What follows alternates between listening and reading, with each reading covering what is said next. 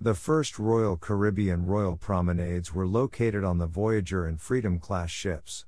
The Royal Promenade on the Allure of the Seas is a marvelous indoor mall area, lined with shops, bars, and restaurants. Serving as the entry area for embarking passengers, it's the first thing an Allure of the Seas passenger sees. It's also the hub of the ship featuring parades and parties and is a good place to people watch. The Royal Promenade has three restaurants similar to those on the Oasis of the Seas the Bow and Stern English Pub, the Café Promenade, and Sorrento's Pizzeria.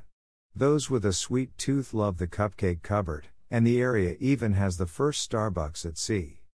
The bars on the Royal Promenade are diverse, fun, and are identical to those on the Oasis of the Seas.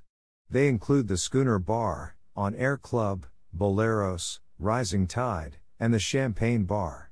The most innovative bar is the Rising Tide, which doubles as an elevator connecting the Royal Promenade with Central Park three decks above.